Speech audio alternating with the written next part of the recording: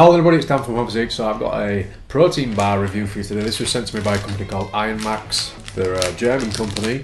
Uh, the protein bar is called Imperius, which is officially the most um, badass name for a protein bar you could probably get. I mean, it's pretty hardcore. It even says the champion of protein bars. Now, it's quite a hefty bar, as you can see. It's big, it's about 85 grams.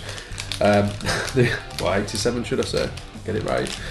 Um, they sent me five of these. Uh, on Instagram, I said I was going to uh, maybe give some away, but unfortunately, I've, uh, this is the last one, and I need to eat it to make it a valid review. I'm so greedy. Fat guy problem. Anyway, right. This bar comes in at about 345 calories. It has uh, 15 grams of fat. This is just rounded up slightly, it's slightly decimal, like 15 grams of fat, uh, 29 grams of protein, and 32 grams of carbs. Um, the ingredients on it are a mix of milk protein, uh, whey protein isolate, and soy protein. you know, that stuff that gives you bitch tits, but we all know it don't really, you know. Um, you've got all that in there. You've also got uh, collagen in there, unfortunately, but then at the same time, there's a lot of protein bars out there like that. Obviously, uh, ingredient wise, this doesn't really match up to Quest bar in that sense, but this is more like a, a chocolate bar, which you'll see in a minute. Uh, I mean, I love stuff like this. If you, if you, the thing I could probably compare this to the most would be, um, oh yeah, you know, the oh yeah bar. If you look at the ingredients um, and the way that, well, the way that it appears, it is pretty much identical in that sense. They are very similar. I wouldn't be surprised if they are made in the same place. Anyway, let's open it up.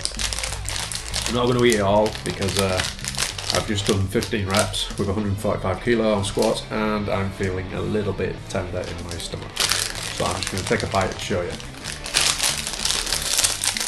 But the first thing you'll get when you open these up is a massive whiff of chocolate. The it kind of looks like a lime bar, you know what I mean?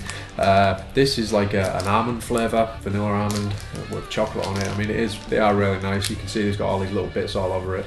Uh, a little bit of drizzle of chocolate and then like a chocolate coating. Um, shall I get into it?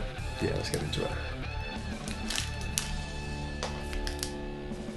Making a of my nice gym floor.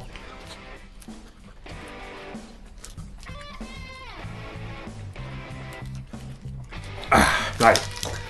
Took a long time to chew. They are a very chewy bar, I will say that. Right, you should be able to see you've got like a chocolate coating, you've got like a chocolate sauce at the top, you've got the protein bit in the middle, uh, and that's pretty much it. Like I say, it's a big bar, it takes quite a lot of chomping, it's a lot of calories, but I know they do a small version. Um, but I like them, I like them. Uh, you can say they sent me five, I ate them all because I'm a greedy pig. Uh, and they are nice. I do compare them to the Oh Yeah bars, so if you do actually like Oh Yeah bars, you will probably like these. Um, in respect to UK delivery, I'm not sure how readily available they are here, but maybe get in touch and just find out if you are interested in trying them. But I would definitely give it a go if you do like protein bars. I mean, if you're not into protein bars, it's not your thing, then obviously don't bother. But if you do like them, like I do, then give it a try. Because it is quite nice nice enough for me to eat all of them and not give one away because I'm a greedy pig. Sorry.